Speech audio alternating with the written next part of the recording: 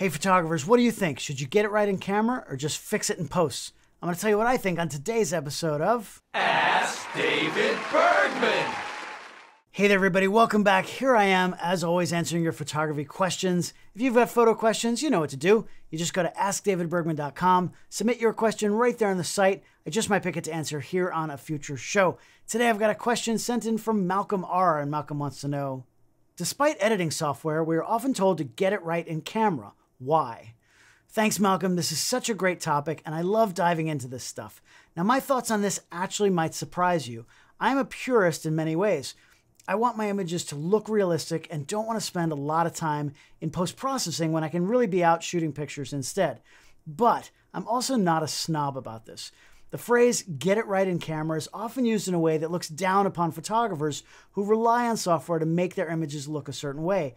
Many people think it's sort of a badge of honor to post images that are SOOC, straight out of camera. But personally, I never post images straight out of camera. When I'm shooting them, I know that I'm going to be doing at least a little bit of work on every single image before you get a chance to see it. So, really, where did this concept start? Well, back in the film days, we had post processing too. If you were shooting negatives, you also had to go ahead and make prints in a darkroom from those negatives. Now, you could absolutely manipulate your images in a lot of different ways, but it was time consuming and it was expensive, right? You needed to have a light sealed room, you had to purchase and maintain nasty chemicals and lots of equipment, and then you burn through a new sheet of paper every single time you made a print. So, when you were shooting, you worked pretty hard to get that photo looking as close as possible to the final shot that you envisioned. That way, it was just a simple, quick print job and you could get to your next shoot, which is where you probably made most of your money. And if you were shooting slide film, which most commercial photographers were doing back then, you really couldn't do any post processing at all since you shot right to the final positive image and didn't make any prints in the first place. Now, of course, there were some exceptions. Some people spent a lot of time tweaking in the darkroom because it was part of their style. Master printmakers for photographers like Ansel Adams would spend all day in the darkroom just to make that one perfect print. But they were hopefully selling those prints for big money that made the time and effort worth it. Ansel Adams certainly did that, right? So now let's fast forward to today. Now we live in a digital world. Post processing is relatively cheap, it's easy, and it's really accessible for almost everyone.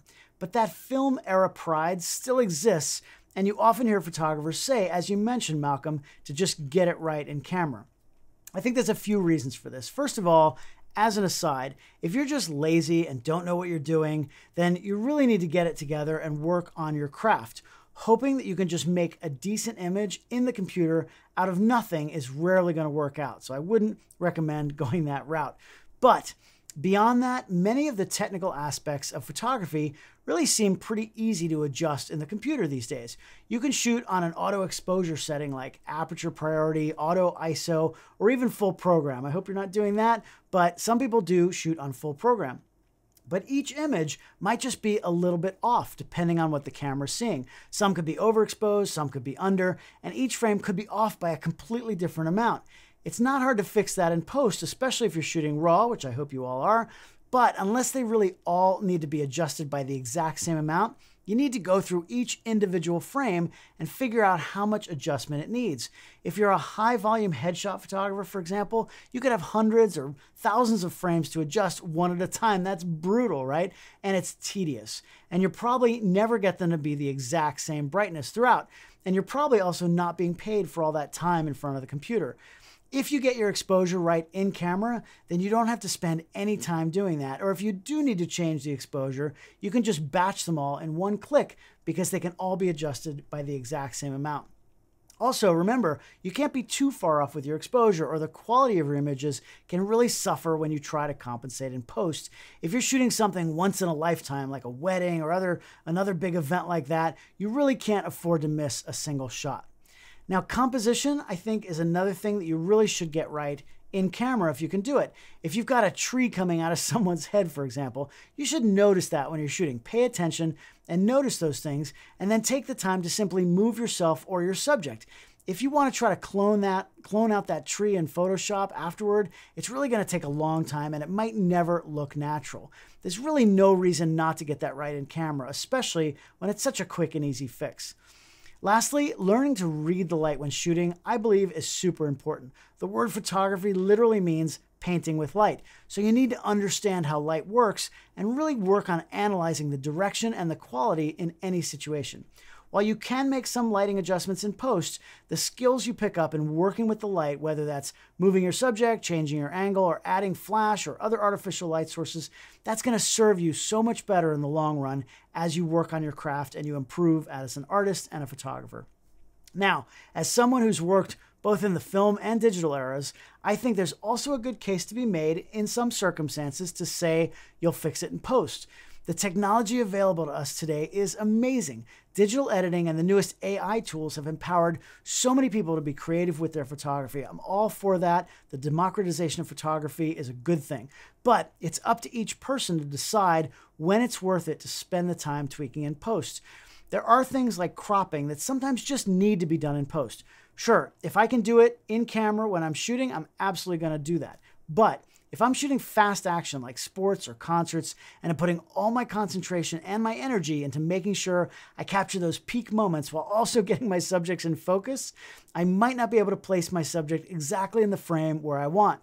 I go into that situation knowing that I'm likely going to have to crop and post, and I'm just fine in that case. Also, the technology we have has allowed many photographers to create their own unique look for their work, and that helps them to stand out in the market. Maybe you like high key, blown out faces and punchy, contrasty, desaturated backgrounds, whatever your style is. You can't necessarily get that directly in camera. Or I've gone and done images that are made up of multiple frames stitched together to create a single high res file. Obviously, that also can't be done in camera. Look, at the end of the day, you should decide what you want to create and then go ahead and create it. That's art and photography. As long as you're shooting with a purpose and know what your end goal is, I believe it's perfectly fine to plan on working on those images in the computer after the fact. Or don't. It's totally up to you.